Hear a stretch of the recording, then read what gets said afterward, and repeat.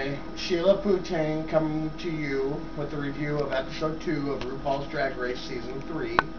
Sorry about the hair, but as you know, we're getting hammered with some snow here in Iowa. And I just did a weather report and it just messed up all my hair, blew the damn door wide open. Well, anyways, I just want to say that I did like this episode compared to the first one. I really liked the space, the space movie clip. I thought all the girls actually did, you know, a fairly decent job, except for Mimi was kind of overshot, and I really didn't agree with Ru and the judges' pick on the winning team. I thought the other team actually should have won it. As far as the twins, I actually thought the other set of twins on the team that lost was actually the better set of twins. I really didn't. I mean, Shangela, and then they did a good job, but the other two I thought was a little bit better. I had to take some notes, okay, because I was drinking me some rum and coke while I was watching this show. Um,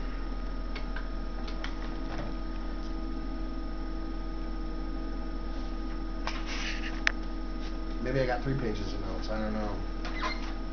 Kurt, I you do. better put your reading glasses on if you're gonna open the library. I know I need my reading glasses, but they went somewhere. Then I'd look like Sarah Palin, and I don't want that. Shangela, Manila was just simply coming up and joking with the girl. Okay, just blow it off. People that irritate you and stuff, just just blow it off. Don't let it look like you're getting in, under their skin. Okay.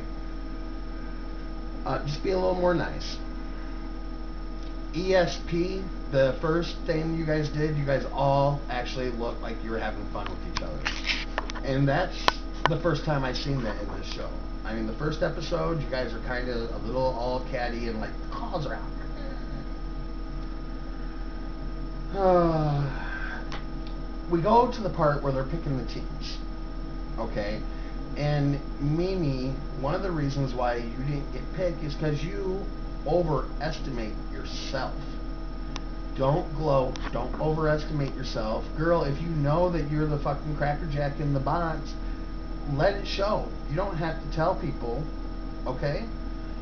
A little, um, I don't know what the word for it is, but um, I'll think of it and I'll let you know. Oh.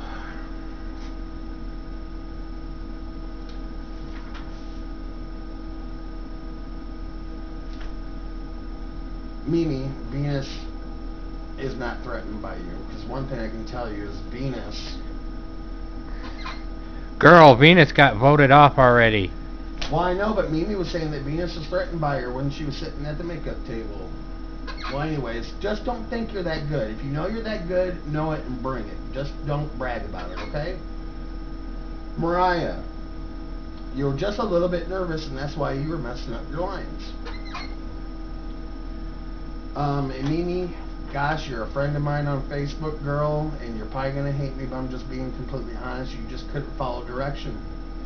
A good actor or actress knows that you just need to follow direction of the director. Listen and execute. Alexis,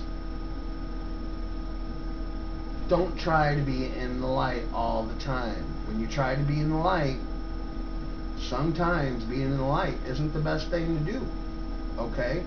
You were trying to outshine Ch- Shangela, and I really don't like Shangela, but I'll tell you this. Shangela does have a little more experience, especially being on the one season already. She knows what's expected of her, and she's going to bring it.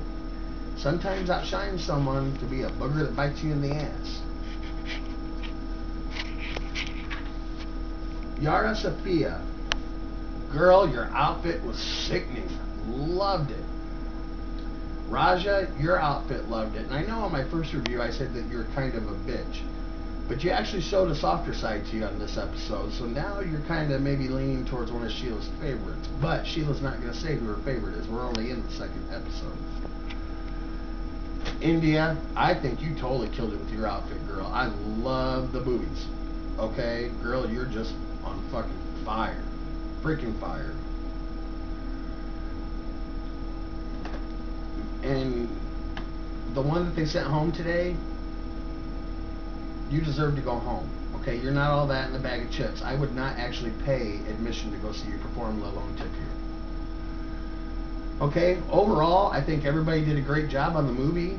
on the movie part. You guys had fun with it, and I just gotta say a good shout out here to Delta. Delta, you worked it, bitch.